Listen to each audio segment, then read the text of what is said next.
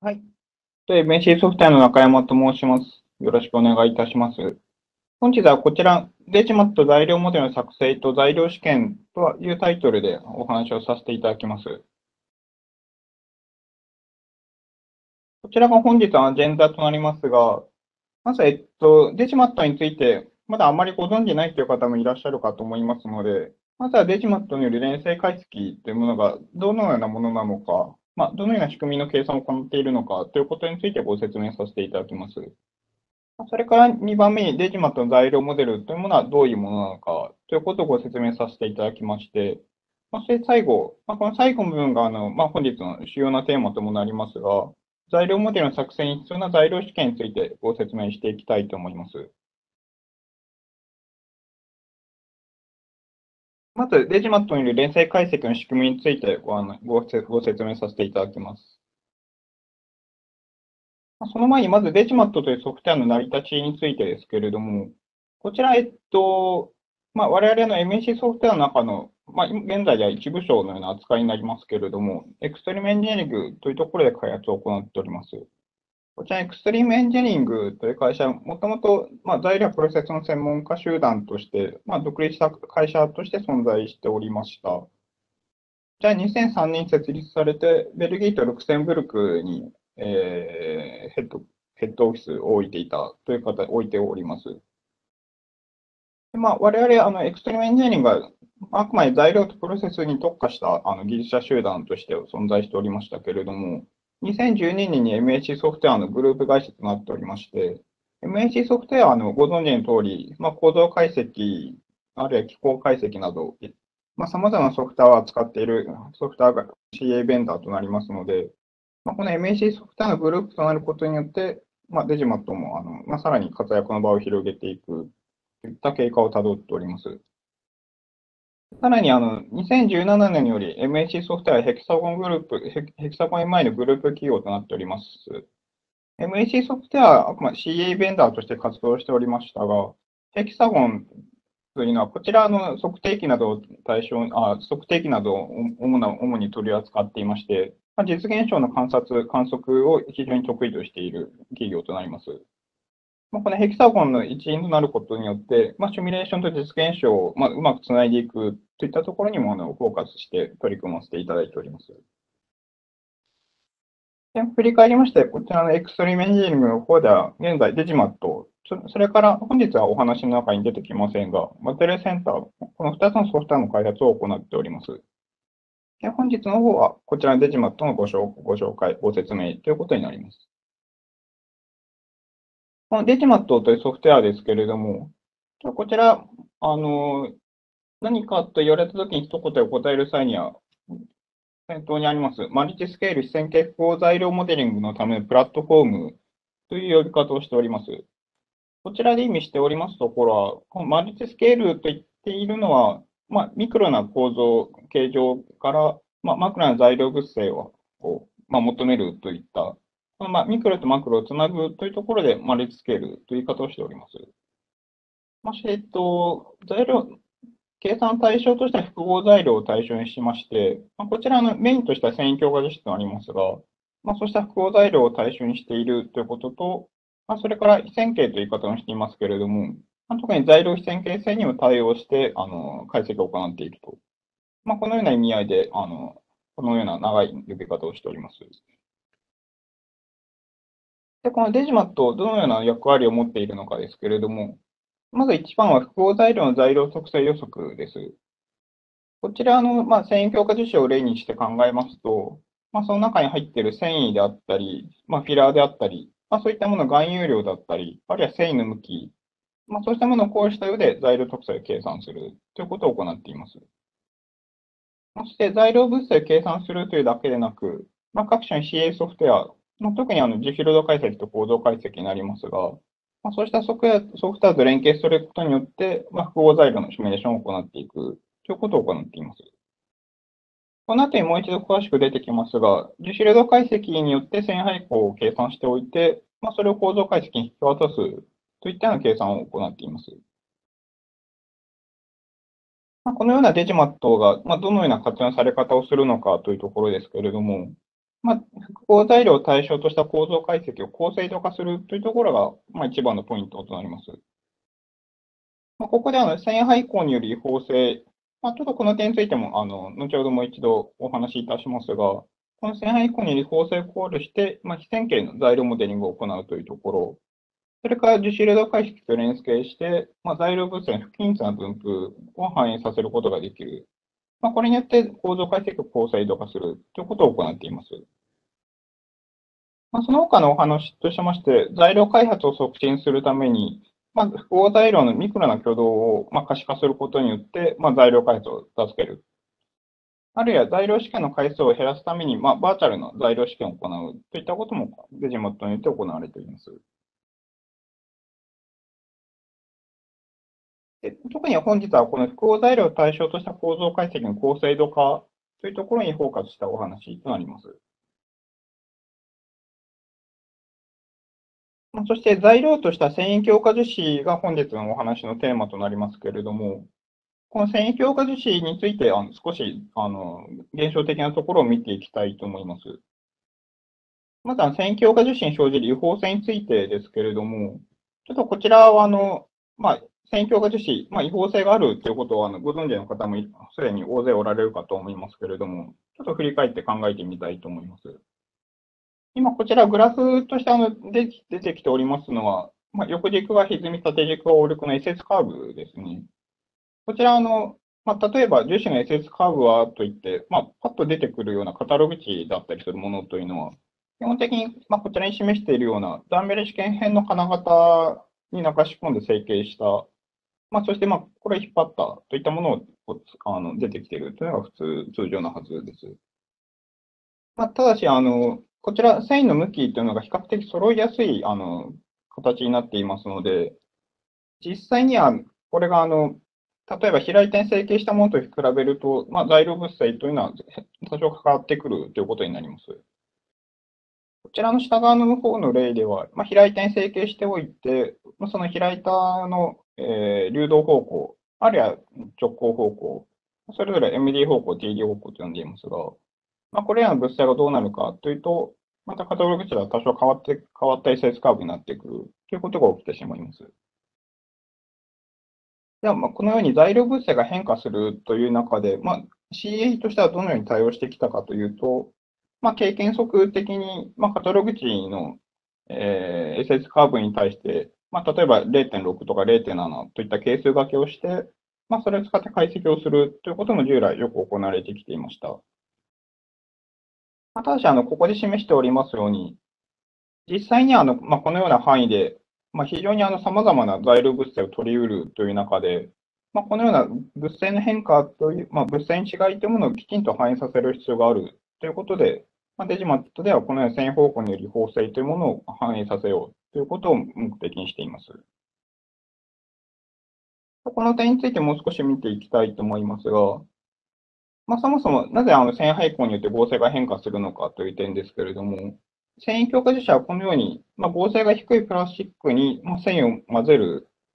まあ、ここで繊維の交換によって合成が上がるといった形となっています。しかし問題となりますのは、まあ、これがあの繊維が向いている方向に力を引っ張った場合と、あ、引っ張った場合、この場合繊維の効果がよく働きまして合成が高くなりますが、一方で繊維に垂直な方向に引っ張った場合というのは、まあ、合成があまり高くならない。まあ、こういったことが起きてしまいます。まあ、こちらのもう視覚的に考えていただくと分かりやすいかもしれませんが、まあ、ちょっとこちらのもう完全に一方向に揃った場合ということで、やや極端ではございますが、まあ、この繊維に沿った方向に引っ張った場合というのは、繊維を直接引っ張るようなイメージになっていきますので、まあ、こうなると、あの、繊維の硬さというのがよく働いてくるということになります。まあ、一方で、この下の図のように、あの、繊維に垂直な方向の場合といいますのは、まあ、間の樹脂、樹脂、柔らかい樹脂の方が結局伸びてしまうようなイメージとなりますので、まあ、こうなると繊維があまり働かずに合成が低いということになってしまいます。まあ、このように繊維の向きによって合成が変わるというのが、あのまあ、一つポイントになってきます。まそれから、まあ、この繊維の分布、繊維の向きというものが樹脂の流動パターンによってあの生じてくるというところにも注意が必要です。こちらに示しました図は、繊維配高度のコンター図となっていまして、こちら赤いところというのはあの配高度が強くて、まあ、すなわち違法性が強いということになりますが、青いところというのは繊維配高度が弱いところとなります。ここで赤いところについて見ていきますと、赤いところはまあ配高度が強いところとなるんですけれども、まあ、そうなると材料物質としても違法性が強く、まあ、繊維の、繊維が向いている方向にはあの、まあ、硬いけれども、まあ、それに直行する方向には弱いというようなイメージです。一方、この図の中の青いところというのは、繊維の向きはランダムになっているという状態でして、まあ、こうなりますと、あの、まあ、繊維、まあ、特定の方向を向いているというのがあまりなくなってきますので、まあ、あの、どちらの方向でもそれほど物性が変化しない、まあ、等方性に近い物性になってくる。また全体としては、あの、物性としてはあまり高くないような、あの、合成になってくるといった特徴がございます。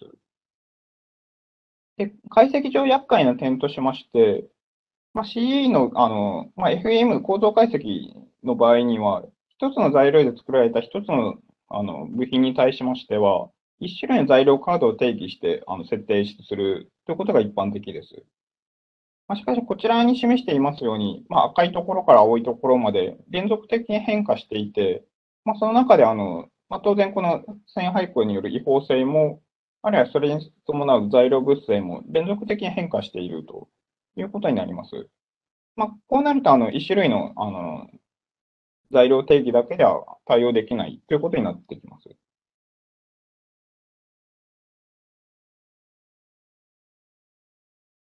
まあ、そこであのデジマットではどうしているのかというところですけれども、デジマットでは材料物性を計算する際に、ミクロコードの影響を考慮した上で、あの、計算を行うということを行っています。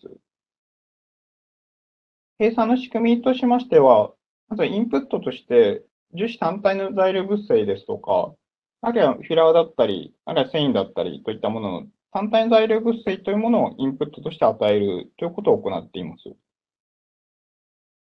まあ、そして、まあ、いわばこれを混ぜるとどうなるのかという形で材料物性を計算しています。まあ、この時に各単体の材料物材料物性というだけでなく、例えば繊維の割合がどうなっているのかですとか、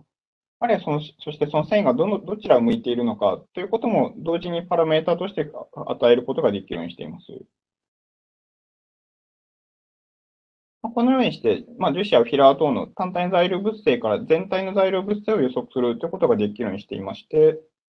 まあ、これを構造解析の材料モデルとして使ってやろうということになります。まあ、これによって構造解析の精度を上げるということになりますが、まあ、ここで材料物性を計算する際には、先ほどお話ししましたように、線配項を考慮して、まあ、違法性をあの計算していますし、一方、樹脂流動解析と連携して、まあ、線配項の分布というものを与えていれば、まあ、これによって要素ごとにそれぞれ材料物性が異なるということもあの表現していると。このような仕組みとなっております。まあ、続いてこのようなデジマットによる連成解析にどのような材料モデルを使っているのかというところについてお話ししたいと思います。まず、ここまでの線配項による材料物性の変化という点についてお話ししてきましたけれども、この材料モデルでも、まあ、デジマットの材料モデルでも、この線配項による依存性というものをあの考慮した上であの作られております。まあ、そのためには、このように、まあ、開いたから3方向に切り出しまして、まあ、そしてあのこの角度違いでそれぞれ引っ張り試験を行うということを行っています。まあ、ここではあの0度方向、45度方向、90度方向の3方向で取ってきていますけれども、まあ、このあのまあ、この時にこの0度とか90度といったのは角度そのものが重要なのではなくて、線配項の状態が違うものを3種類用意しているというところがポイントです。そして、この線配項が異なる3種類の引っ張り試験の結果に対しまして、この試験結果を同時に満たすようなパラメータというものを決めていきます。まあ、そしてそのパラメータを使って計算をすれば、任意の角度、あるいはその任意の配項状態の材料物数が計算可能になると。まあ、このような仕組みとなっています。まあ、つまり、3パターンの線配項の状態の材料試験の結果から、まあ、あの任意の状態で、まあ、任意の線配項の状態での材料物性を予測することができるようにすると。まあ、このような仕組みとなっております。で先ほどは引っ張り試験についてお話しいたしましたけれども、デジマットの中ではこのように、まあ、こちらにありますような様々な材料モデルが使用可能になっています。まあ、こちらは特に使用頻度が高いものについては赤字として、赤い字としております。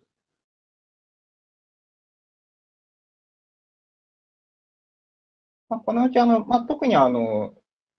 まあ、樹脂に特有な現象をはじめとした、まあ、使われる頻度が高いものについて細かく見ていきたいと思います。まず一番あの、まあ、ベースとなります、まあ、静的な引っ張り強度についてですけれども、まあ、こちらの方であの、まあ、通常の応力解析一般で使われますが、デジマットの材料モデルの名称としてはエラストプラスティック、日本語で呼ぶときは断層生体となりますが、こちらの材料モデルを使用します。そして、あの、破壊モデル考慮するという場合には、サイヒルの 3D トランスファースライストロピックという破壊モデルを使用することが一般的です。で試験についてはこの後のセッションでもう一度細かく見ていきたいと思いますけれども、まあ、こちらで必要な試験結果としては、まあ、静的な引っ張り試験。まあ、ただし、流動方向に対して3方向の角度で切り出した試験編を用いるということとなります。続いてクリップですけれども、まあ、こちら、まあ、当然クリップ解析、あるいは応力緩和解析で用いることになりますが、まあ、デジマットで使用する材料モデルとしては、ビスコエラスティック、あるいはエラストビスコプラスティックといったものを使用します。まあ、こちら、日本語では年断性、あるいは断年組成体、断年組成といったものとなりますが、まあ、ここではやはりあのクリップ解析用のデータとしてはクリップ試験が必要になってきます。ま、ただし、ベースとなるあの引っ張り試験、定的な引っ張り試験を3方向で行っておいて、まあ、一方でクリップ試験の方は、まあ、角度に対しては1方向、ま、ただし、応力水準3水準程度取るということが一般的です。続いて、振動解析などで用いられる動的年断性ですけれども、こちら使用する材料モデルとしては先ほどと同じビスコエラスティックですけれども、まあ、ただここであのえー、同じビスコエラスティックのモデルを作るとしましても、こちらの方では動的年断性試験、DMA 試験ですね。こちらの方をあの材料パラメータの作成に使用するということになります。続いて、歪み底地の性と言っておりますのは、こちらの方は、えっと、衝突解析などに用いられるものとなりますけれども、エラストビスコプラスティックあるいはストレインレートエラストプラスティックといったものを使用します。じゃあ、エラストビスコプラスティックと呼んでみますは、断念組成体で、組成液に歪み速で依存性がかかるというものになります。一方、ストレインレートエラストプラスティックは、まあ、エラストプラスティック、断組成体のモデルに対して、あの、モデル全体に歪み速で依存性を持たせたものということになります。こちら必要な試験としては、やはり高速引っ張り試験が必要となりますが、こちらの、まあ、性的なものに加えて、えー、高速の方は速度3水準程度、まあ、合計4水準、まあ、こちらいずれもそれぞれ3方向、角度違いで取るということを行っています。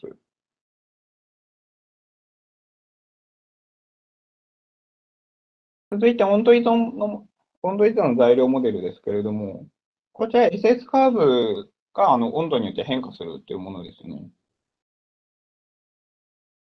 こちら、まあ、当然温度変化を伴うような応力解析で使用するということになります。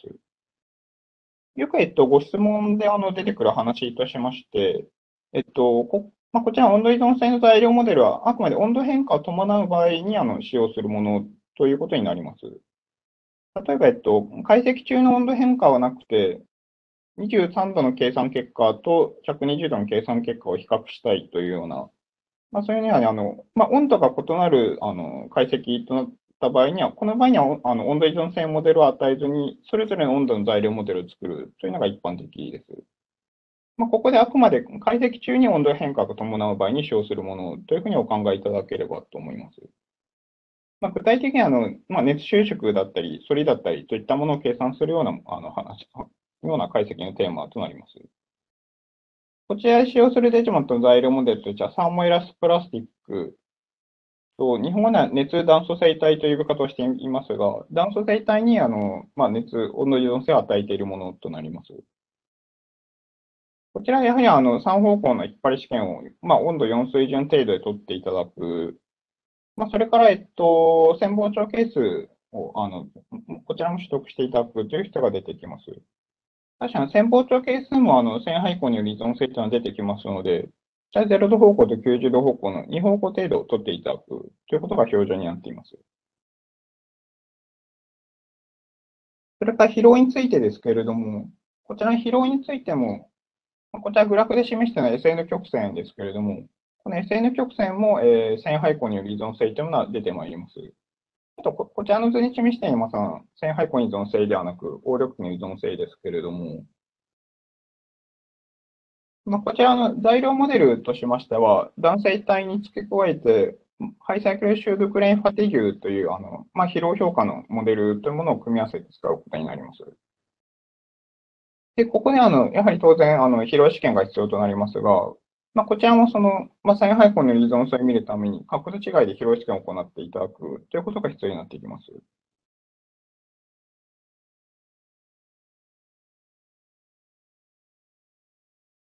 まあ、ここまでデジマットの主な材料モデルについてご説明させていただきましたけれども、えっと、続いて、この材料モデルを作るに必要な材料試験についてご説明させていただきたいと思います。まあ、我々、あの、MHC ソフトウェア、まあ、こちらの方は材料試験権を持っている、あるいは試験装置を扱っているというわけではないんですけれども、まあ、ただ、あの、まあ、デジマットの材料モデルというのは、線配項の依存性を考慮するということで、まあ、非常にあの CE の中でも特殊な扱いとなっておりますので、まあ、そのため、デジマット特有の材料試験、あるいは材料試験の試験条件といったものもやはり出てきます。まあ、そのため、あの、まあ、我々自身が材料試験を行っているというわけではないんですけれども、まあ、これまでにあの材料試験の、まあ、試験機関に依頼した経験ですとか、あるいは材料サプライヤー出身のものの意見などを含めて、まあ、こういった形でご紹介させていただきいただいております。まずはじめに、あの、線配項の重要性について、あの、ごご説明させていただきたいと思います。まあ、ここまでの複数の、あの、複数多くの試験結果をデジマットのパラメータ作成する際に使用するということをお話しいたしましたけれども、まあ、材料試験を実施するというだけでなく、線配項の測定を行うということも、あの、あの強くあの推奨しております。まあ、この線配項、まあ、線配項の測定を、まあ、行ってくださいねと、あの、まあ、お願いさせていただいている理由、それを、ヤング率を例として、あの、見ていきたいと思います。まあ、この時に、あの、デジマットのパラメータを作成するということは、まあ、ちょっと先ほども少し申し上げましたけれども、まあ、あの、一部の、あの、特定の3パターンの線配項による試験結果から、まあ、配項依存性の全体像を予測しているということであるということにご注意いただければと思います。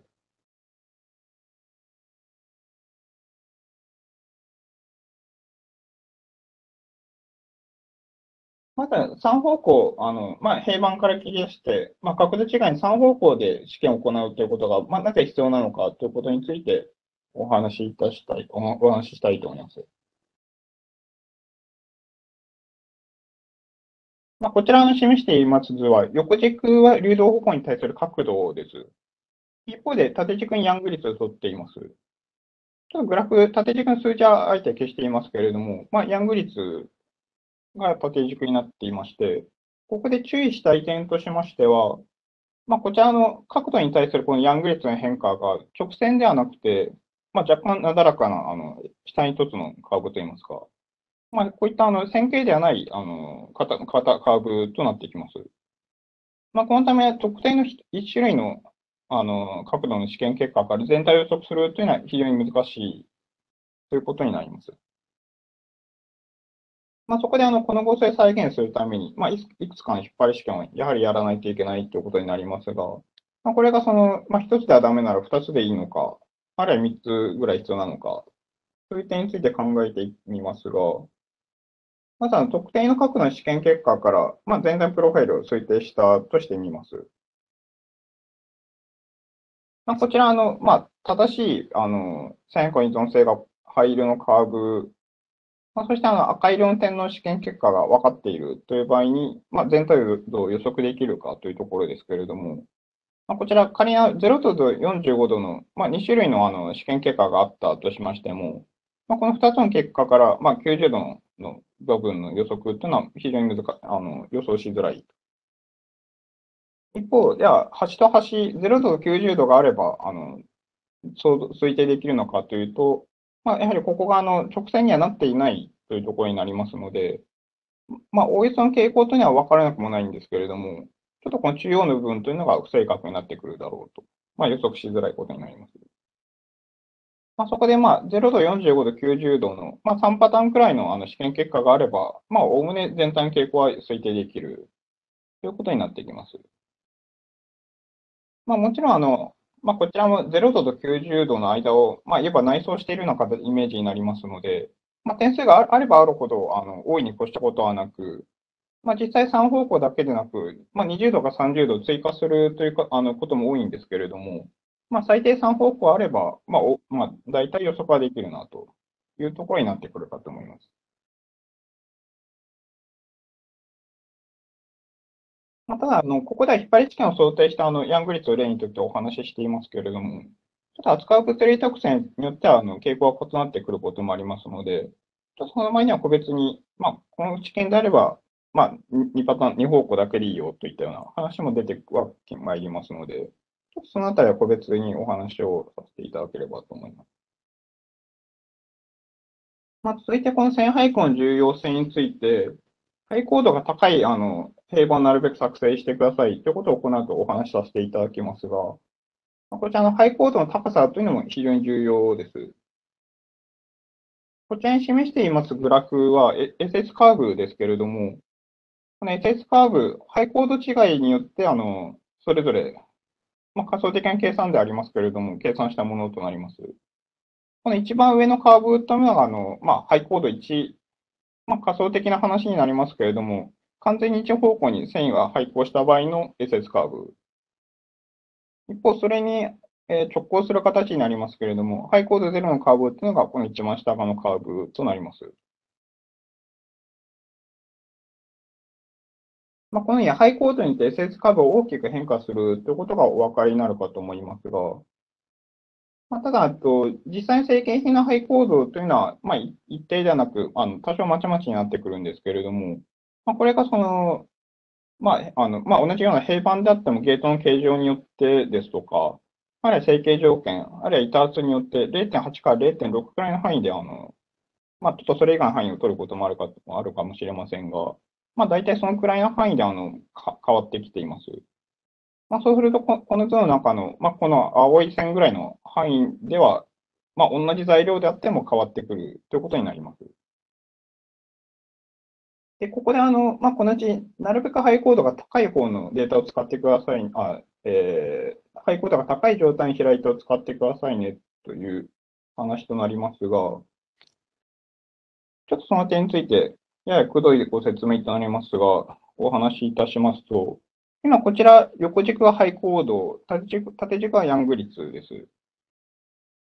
まあ、こちら右側がハイ高度が高い、ハイ高度1の状態。そして左側がそれに、まあ、のハイ高度0。線に直行している状態と同じですね。まあ、そういった状態となります。で、ここで平板のハイコードがが高く、例えばハイコード0.8だった場合というのは、まあ、このポイントが、あの、えー、0度方向の引っ張り試験辺の線配項の状態となります。一方、90度方向というのは、まあ、それをひっくり返したような状態になりますので、まあ、この0.2というポイントのあの値ということになります。この場合ですと、まあ、いわばこの0.2から0.8の範囲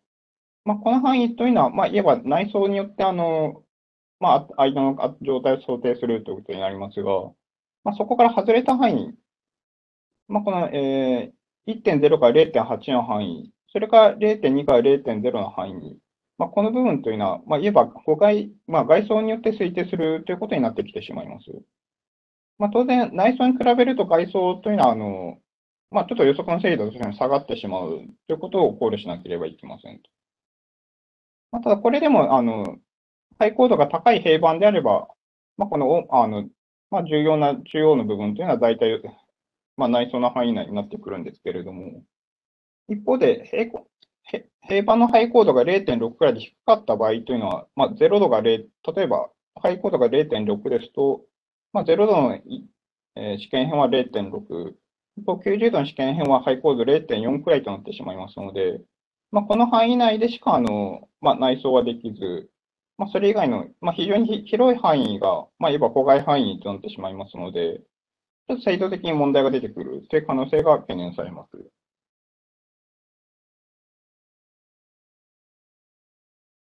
まあ、して、まあ、このように、ハイ高度、ハイ高度が高い、あの、まあ、設計を、まあ、開いたなるべくご用意くださいということに続いて、まあ、1000円配行を実測しておいてくださいということも、あの、お願いしています。まあ、ただ、あの、1000配行の測定自体も当然費用もかかりますし、まあ、手間もかかりますので、まあ、なかなかあの、そういった問題もございますが、まあ、ただやはりあの、ハイコードを正しく把握するということは極めて重要でして、例えばあの、ハイコードの、まあ、あまり高くなく、まあ、0.6くらいになった引っ張り試験の結果があったとします。で、まあ、ここで、まあ、仮に、まあ、ちょっと仮想的な話になりますけれども、まあ、正しいハイコードからであれば、まあ、全体ヤング率の傾向が、まあ、ある程度正確に予測できるとします。まあ、こちらのグラフは、まあ、横軸ハイコード、縦軸ヤング率ですけれども、まあ、灰色が、まあ、いわば正解だとして、まあ、この赤い点から全体度予測できるのかというところですね。実はこちら、あの、まあ、綺麗に指数関数のグラフに載っていまして、まあ、仮に大体予測できていると仮定しますと、仮定します。でただ、これがあの線配項を測定していなくて、まあ、配構度の予想が誤っていたとすると、まあ、これが大きくずれてくることになってしまいます。先ほど申しました通り、まあ、開いたあの線配項の状態というのも、まあ、結構物によって変わってきてしまいますので、やはり測ってみなければわからないというところがあります。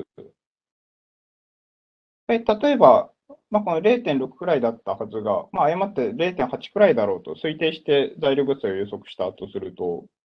まあ、この2点を通過するようなあの指数関数を作るとなると、この青の点線のようなグラフになってくると。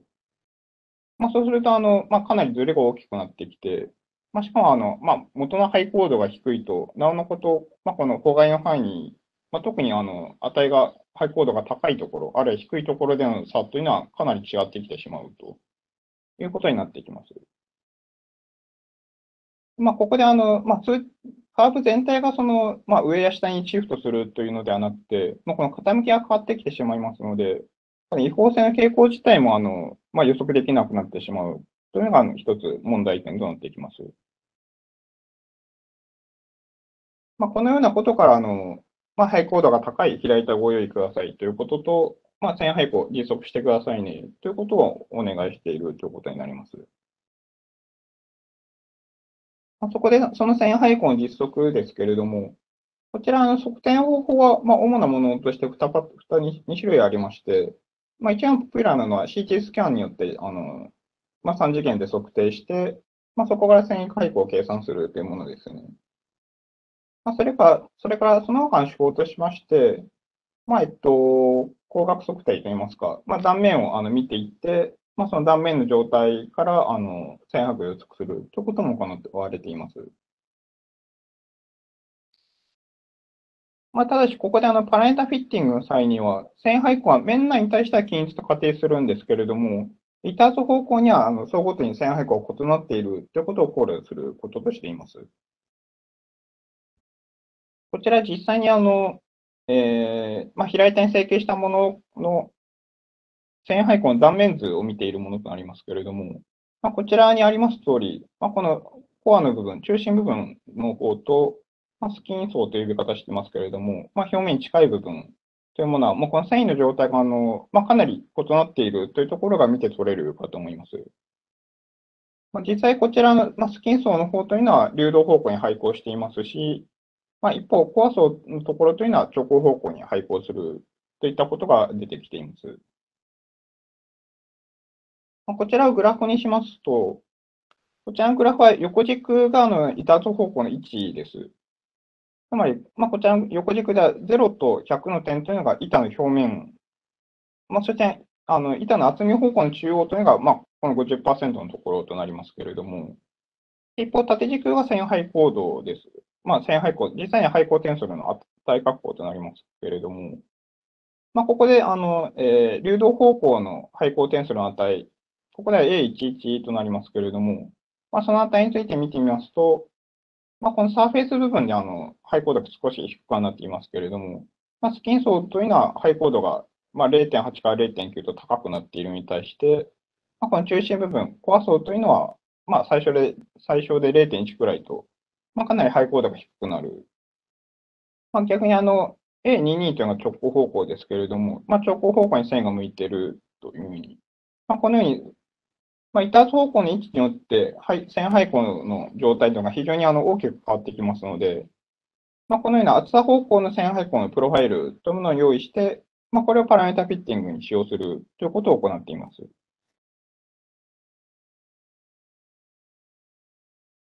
ここまで線配項についてちょっと詳しく見てまいりましたけれども、まあ、続いてあの試験編について、また実際に材料試験に用いる試験編について見ていきたいと思います。材料試験に用いる試験編は作成方法によってあの線配項が変化してきますので、変化していきます。でこの場合、線配項を高くしたいということであれば、こういったあのダンベル試験編の方に直接あの流し込んで試験編を作るというのが、まあ、一番ハイコードとしては高くなります。まあ、ただし、あの、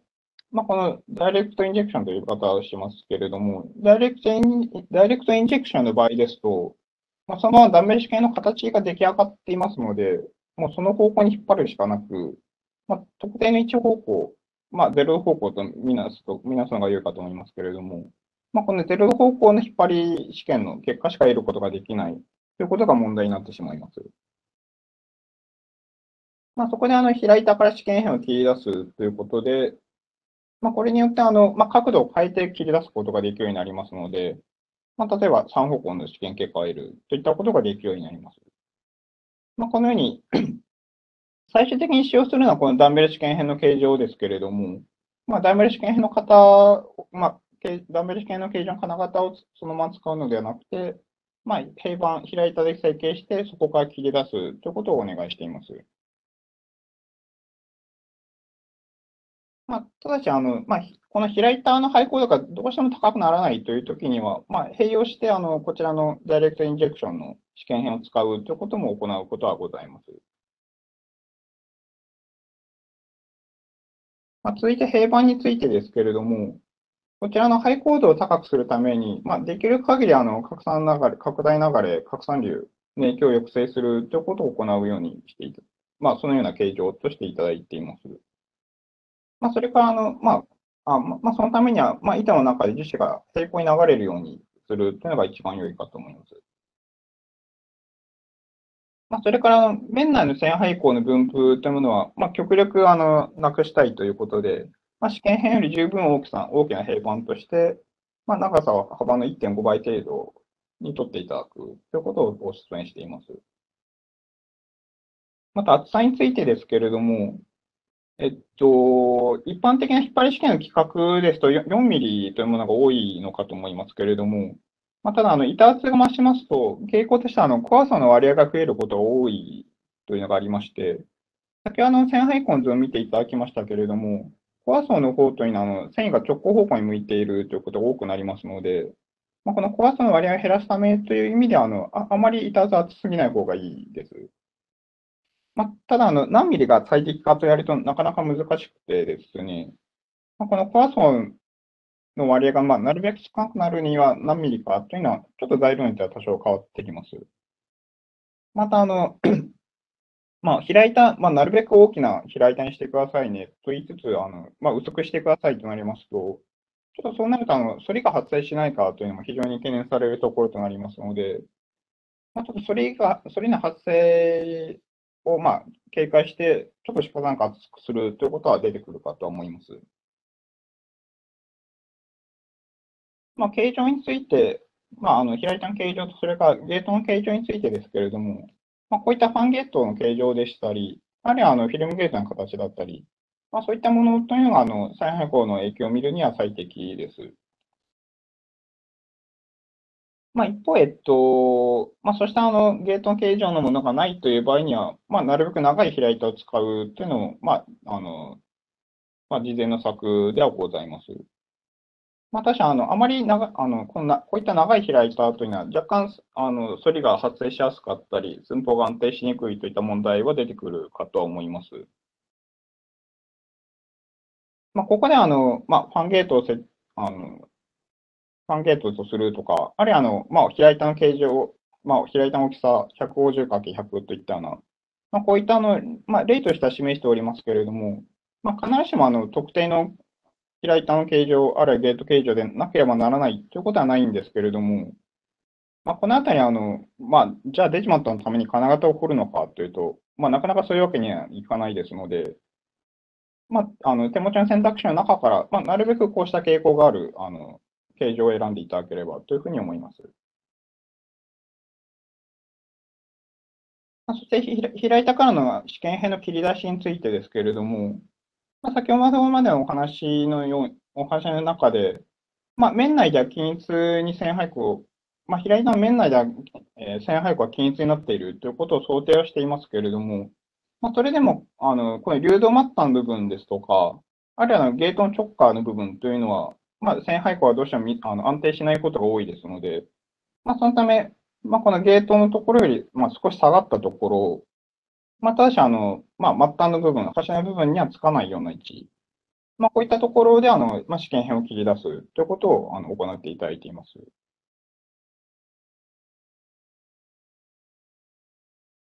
で、試験編の形状ですけれども、まあ、こちらについては、えっと、若干樹脂特有の事情というのもありますが、まあ、でこちらはデジモット特有の話というのは、まあ、それほど大きく、あの、多くはなくて、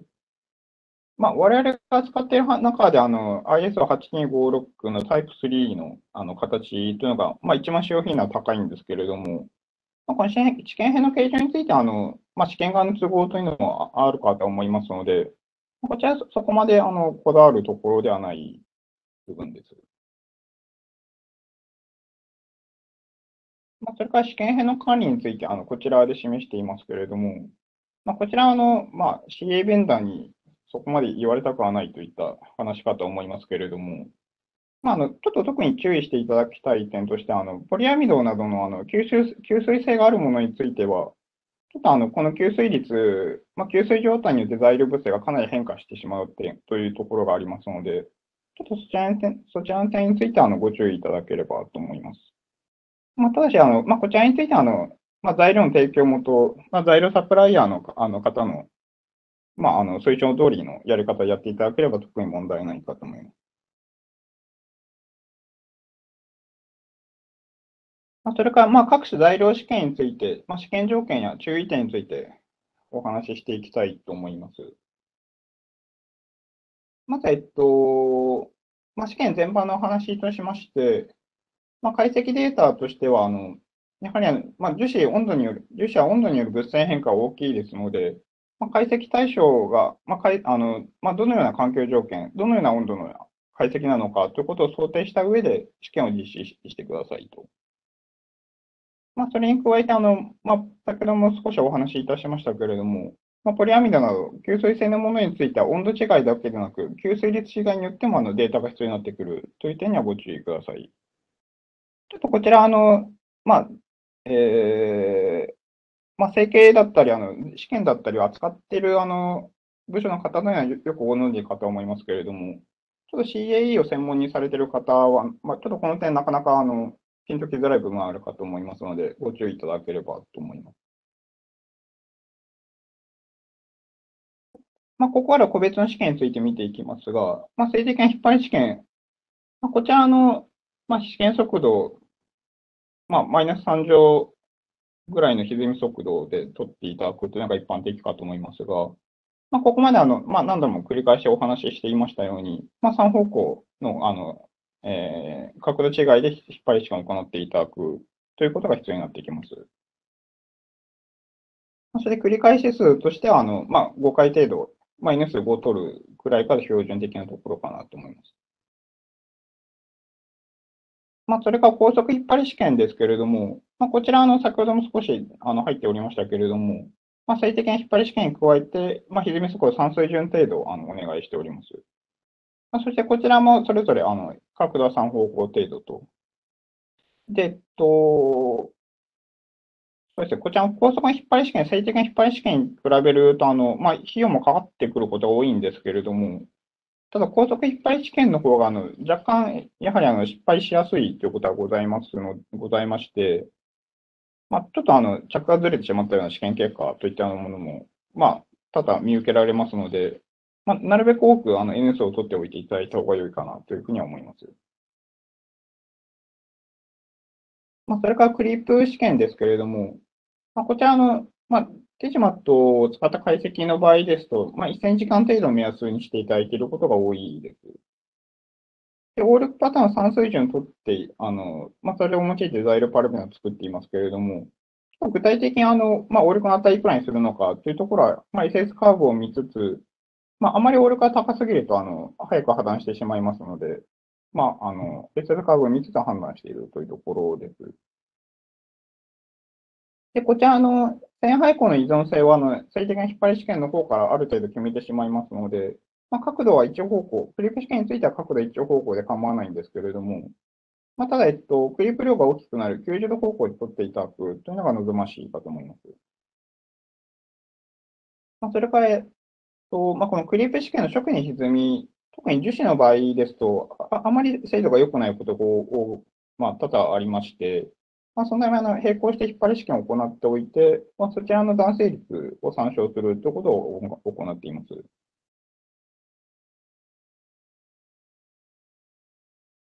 それから、えっと、DMA 試験、動的年男性試験ですけれども、ちょっとこちら注意が必要でして、動的年男性試験にあの、あの、えー、この動きの書き方として、引っ張り、曲げ、それからねじりとあり、あの、3種類、あの、一般的なものがあるかと思いますけれども、樹脂の解析のデータとしては、ネズリを推奨しています。まあ、ちょっとななぜかというところについて、あの、曲げについては、どうしてもあの、曲げモードというのは、引っ張りと圧縮、それから先端のあの、といったような、あの、あいろんなモードが入っていますので、ちょっと解析用のデータとしては参照しづらいというのが実際のところです。一方、引っ張りのあの動的年男性試験については、ちょっとこちらの樹脂の場合、あまり精度が良くな良くなりづらいというあの問題が、試験側の問題がございまして、まあ、そこであの、まあ、我々の方実施する場合ですとか、あるいはあのどれがいいですかと聞かれた場合には、ねじりをあの推奨しています。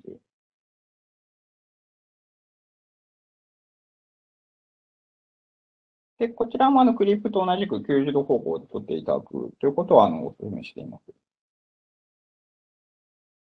それから、と、疲労試験についてですけれども、まあ、こちらの、まあ、デジマットの疲労モデルについては、基本的にあの高サイクルでのあの疲労寿命予測というものをターゲットにしていますので、まああのまあ、それでも、まあ、時間の問題はありますので、まあ、100万サイクル程度で収まるような範囲で、まあ、5点か10点程度取っていただくということをあのお勧めしています。で、こちらのデジマット用にとなった場合には3方向あの角度違い実施していただくんですけれども、疲労の場合にあの0と90に加えて45度ではなくて、まあ、20度か30度を使っていただいています。応力比としては0.1をあのベースにして角度違いで取っていただくということが多いです。で、これに加えて応力比依存性も見に行くというときには、まあ、この角度違いを見るために使った応力比の0.1に加えて、まあ、それに加えて3パターンくらいまあ、合計、効力基地が4水準程度を取っていただくということが多いかと思います。で、こちらに、こちらに疲労試験についても、あの、引っ張りと、ま、それから曲げがあるんですけれども、えっと、試験側としては、あの、曲げの方がやりやすいんだということは、あの、まあ、聞いてはいるんですけれども、ただちょっと、やはりあの、こちら疲労については曲げというのは解析用データとしてあまり適切ではなく、まあ、引っ張り圧縮のパターンの疲労試験を行っていただくことをお願いしています。まあ、それから、えっと、扱っているものが樹脂となりますので、ちょっと振動数についてもあの注意が必要です。まあ、こちら、あの、まあ、こちらはなかなか議論がある点であるんですけれども、ちょっとあまり振動数が、あの、大きすぎると、まあ、試験時間短くなるんですけれども、ちょっとその、まあ、なんて言いますか、歪み底で依存性が出てくるということが言われています。また、ちょっとあまり振動数が高すぎると、最悪発熱してしまいますので、まあ、当然樹脂は温度依存性も大きいということで、まあ、最低限発熱するというようなことは避けていただくというふうに考えています。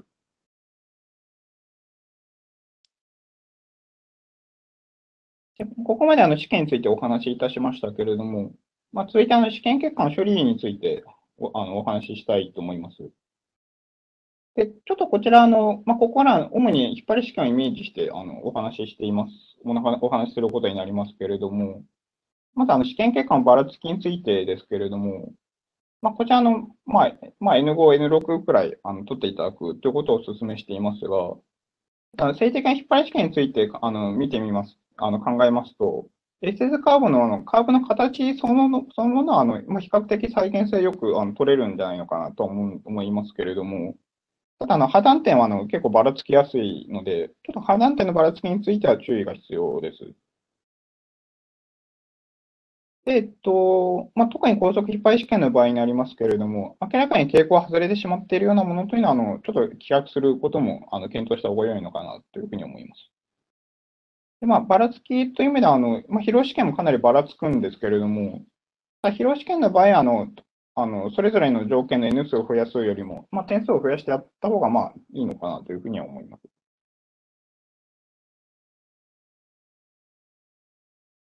で、それから試験結果のクリーンアップについてですけれども、まあ、このあたりあの、まあ、特にデジマットに限らない話となってきますけれども、まあ、例えばあの振動だったり、0点からのズレがあったりという場合に、まあ、どう直すのかというところで、まあ、振動についてあの、まあ、それほど問題になることは多くないと思いますけれども、まあ、あまり振動が大きするような場合というのは、あのまあ、フィルタリングをかけるか、まあ、ちょっとこちらも、まあ、専門のツールが必要になってきますので、まあ、引っ張り試験の場合ですと、あの、多項式近似がうまくかかりますので、まあ、多項式を置き直せばいいのかなというふうに思います。一方、えっと、まあ、こちら順位にも限らずだと思いますけれども、結構0点がずれてしまうということは多いですので、まあ、基本的にあの、まあ、1点目が0、0、0となるように、カーブ全体シフトしてから、まあ、データを使用していただくということになります。まあ、それから、まあ、こちらもデジマットに得意な話というわけでは別にないんですけれども、まあ、引っ張り試験であの、まあ、通常 SS カーブの傾きが途中で上昇するということは基本的には起きないはずで、まあ、絶対答えると何とも言いづらいところはありますけれども、基本的には誤差と思った方が良いかと思います。で、こちらの、まあ、構造解析、FEM の解析上も、あの、基本的にあの、傾きが途中で上がるというような、あの、状態では表現できませんので、ちょっとその点にも、あの、まあ、途中で傾きが上がってしまうようなところというのは、ちょっとあの、あの構成していただくという必要が出てくることがあります。それから、ちょっとこの点については先ほどもお話しいたしましたけれども、ちょっと歪み値がの途中で急に飛んでるなど、あの、まあ、ちょっと明らかにあの着が外れてしまっているようなケースというものは、まあ、帰国することを、まあ、考えていただきます。まあ、まあ、N5 で試験をやった後に、あの、まあ、同一条件試験を複数回実施している場合というのは平均化を行っていただきます。まあ、こちら、あの、まあ、各社、あの、まあ、こういった方法で普段やっていますよというものがあれば、まあ、特にそれで全然構わないと思いますけれども、まちょっとどうやればいいですかと聞かれたときに、あの、まあ、回答して、このように回答していますということをお話しいたしますと、まあ、Excel で処理する場合を想定していますけれども、まあ、N5 あれば、のその5本の試験結果に対して、まあ、それぞれこのようにあの近似曲線を作ってやって、まあ、これはその多項式近似、まあ、Excel でその6時まで作れますので、まあ、この6時の多項式近似をのあの近似曲線を引きます。で、これ、あの、まあ、数式を表示させることができますので、まあ、このカーボン数式というのが出てきましたら、まあ、これにあの、まあ、歪みに対して効力がいくらになるのかというものは Excel 上で作ってやると。まあ、これによって、あの、まあ、例えば5本の試験結果の歪みの値をそれぞれきれいに合わせること、合わせる、あの、揃えることができるようになりますので、まあ、そうすると、あと、あの、応力の値を平均すれば、まあ、5本なら5本のカーブの平均値を取れることができるようになると。いうことになります。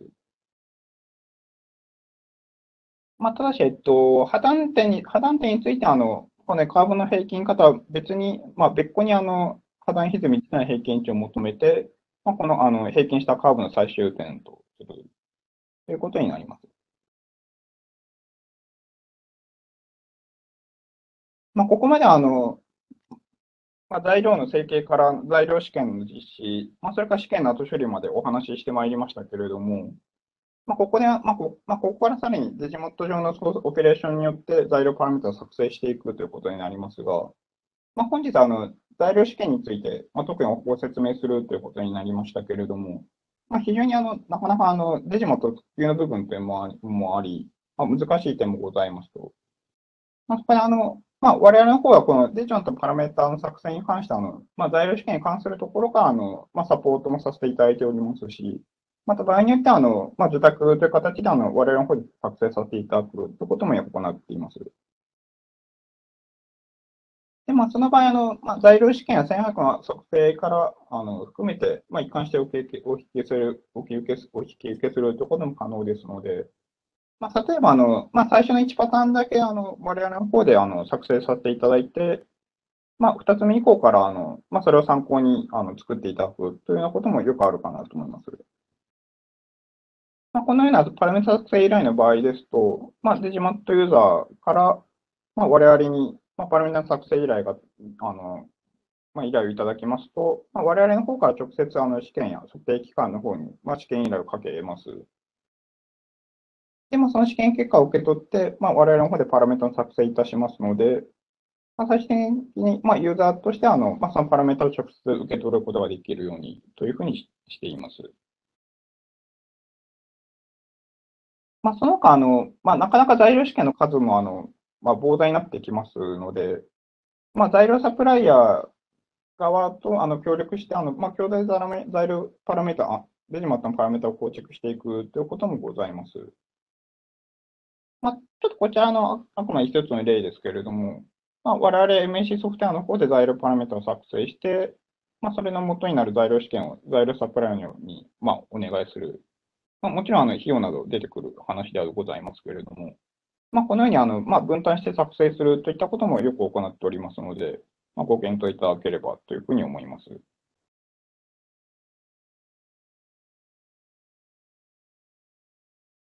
まあそれでは本日のウェビナーの内容はこちらで以上というふうにさせていただきたいと思います。どうもご清聴ありがとうございました。